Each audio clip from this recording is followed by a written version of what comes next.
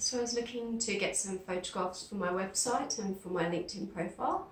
Um, so we've had a really good um, day, really um, good, easy step-by-step process um, where we kind of discussed what um, what we were hoping to get out of the day, and um, the photos were amazing. It was actually not as kind of scary, and I, it wasn't. I wasn't as nervous as I thought I was going to be doing it. and the results are fantastic uh, loads of variety so I can use it for yeah different pages on my website, business cards, LinkedIn.